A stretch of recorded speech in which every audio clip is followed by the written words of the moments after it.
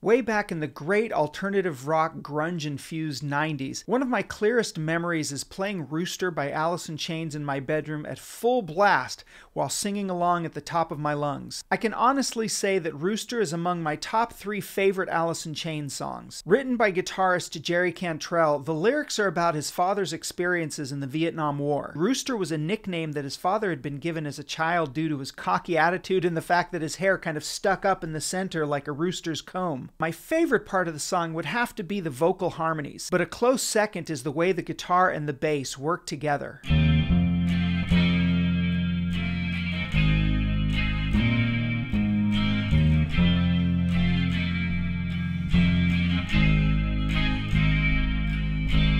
Woo!